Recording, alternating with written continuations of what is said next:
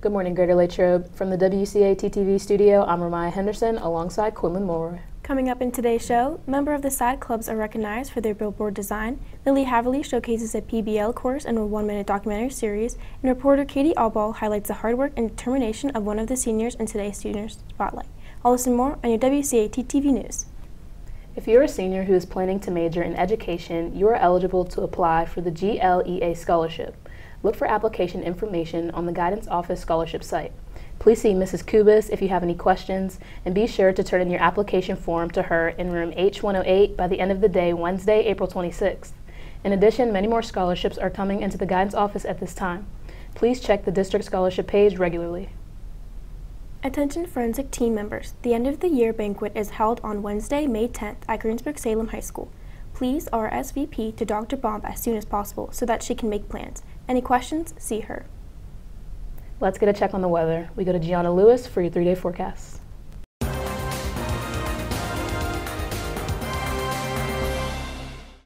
Good morning, Wildcats. Today we have a high of 64 and a low of 40 with a 40% chance of rain.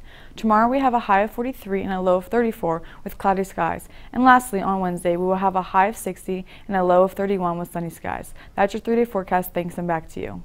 Students in Westmoreland County ages 16 to 18 are invited to attend the Manufacturing 365 Summer Camp in Greensburg from July 10th to July 20th. Get paid to learn about manufacturing, earn a certificate, tour job sites, network with companies, and find a job in manufacturing and have fun. Students will earn $400 to attend all eight days. Space is limited to apply. Please call 724 836 2600, extensions 223 for more information. Are you interested in working for the Greater Latrobe School District this summer? Hours are Monday through Friday from 7 a.m. to 3.30 p.m. This is a 10-week program, but hours are flexible if you already have previous plans. All applicants must have working papers, and anyone 18 years of age or older must have clearances. Work includes general cleaning, moving furniture, light maintenance, and groundskeeping. The pay rate is $10.50 per hour. If you are interested, please see Mrs. Yetter for an application form and return it to the Facilities Operations and Planning Department at the Administration Office or email your information to amy.sassos at glsd.us by Wednesday, May 3rd to be approved at the May 17th school board meeting. We'll be back after this message.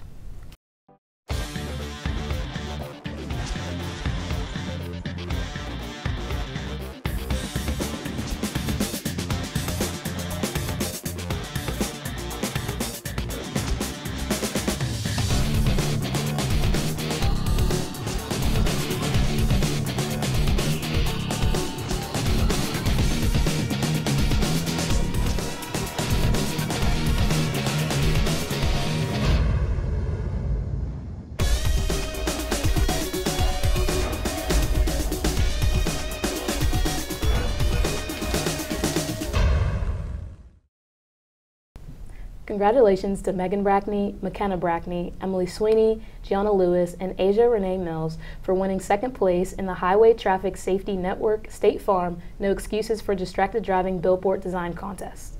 The girls split a $500 prize and received another $500 for the SAD Club. Congratulations and great work.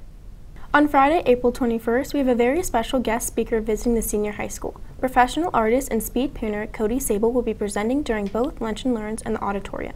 Cody is a Pittsburgh native and a nationally recognized artist who is known for creating realistic paintings in a matter of minutes. All students are encouraged to attend and watch him as he creates two hyper-realistic masterpieces live.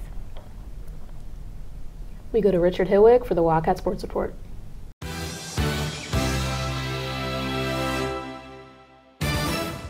Good morning, Wildcats. Today, the softball team takes on the Penn Trafford Lady Warriors here at Graham Sabota Field at 3.30. The boys tennis team heads to Norwin for their match at 3.30.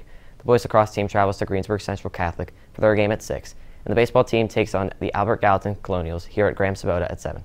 That's all for Wildcat Sports. Now here's Joe Coletti with National Sports. Hey Wildcats, in sports your Pirates are in action tonight versus the Colorado Rockies in the Mile High City at 8.40 p.m. This is the first of a three-game series with the Rockies. That's all for sports. Back to you. Thanks, Joe. Broadcast and video production two students have created one-minute documentary series based on the 60-second doc series. Here's a video created by Lily Haverly. My name is Mrs. Koss, and I am a family and consumer science and business teacher here at Greater Latrobe Senior High School.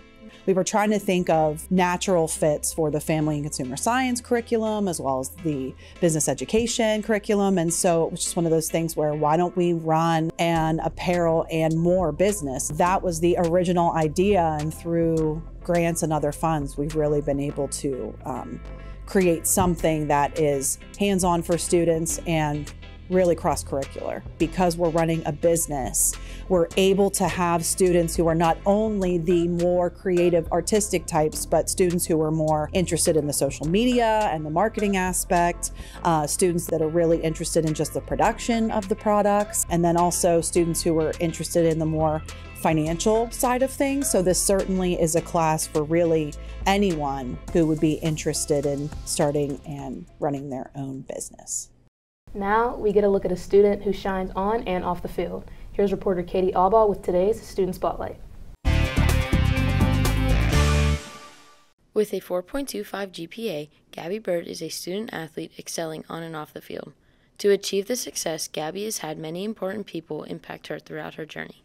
I play for my Vipers travel team since I was nine years old, and those are kind of the like I built some of my best friends on that team, and so the Vipers was kind of a big part of my softball career and the Latrobe softball team. And my dad has also been an inspiration and a coach for me along the way. In addition, Gabby's mom has served as an important role model. She's really like a strong and independent woman and is kind of in a field that not a lot of women are. She's in the military, so watching her like in her element has really inspired me. Gabby has taken this as her inspiration and displayed it in all aspects of life. When Gabby heard of the Voice of Democracy competition, which is a competition to promote patriotism and invest in future generations, she knew she had to jump on the opportunity. Watching her mother throughout her childhood sparked a reason to compete. Mr. Pratt just kind of gave me the essay and I wrote it and I just kind of kept moving forward through the competition after that. This year, Gabby is involved in two AP classes and a work study at Excela Health. With a busy softball schedule, Gabby needs to manage her time wisely. A way to do that is like staying organized and keeping a calendar to like write down everything that you need to do and when it's due. Gabby's time at Excela Health allows her to see people perform what she would love to do after graduation. I get to leave halfway through the school day and go sit in a doctor's office and be around the people that I want to be one day and get to learn and listen to everything that they're talking about. And it's just really helpful to kind of picture myself in that environment. Gabby would go on to bigger and better things after graduation by going to the University of Pittsburgh's Frederick Honors College at main campus and extending her education in the science field to become a doctor. With all of her hard work and dedication, Gabby will complete any challenge life throws at her. Now, here's Emily Sweeney with the Wildcat World News.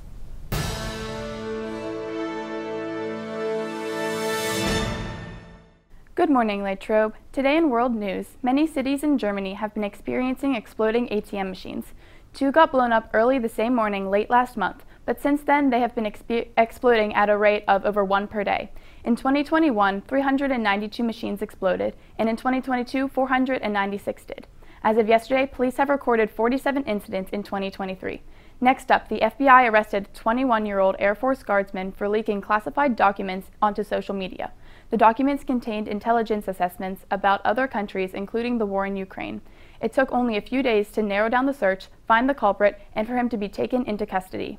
And in local news, last Thursday morning at Excela Health Latrobe Hospital, a flag was raised as a message to the community that donations save lives. Many people gathered to raise awareness for organ, tissue, and cornea donations. That's all for world and local news. Back to you. Thanks for tuning in to this edition of WCATTV News. Have a great day, Latrobe. We are GL. Go Wildcats.